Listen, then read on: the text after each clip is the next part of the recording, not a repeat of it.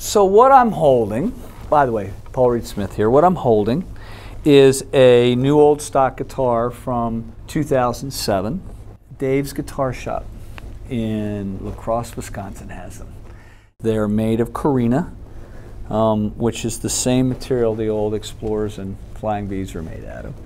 Um, they have Brazilian rosewood fretboards, and you know, it's just a good sounding guitar.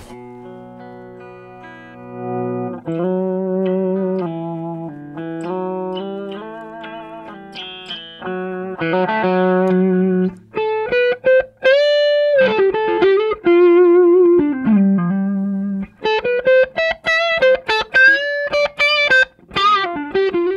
the store and check one out.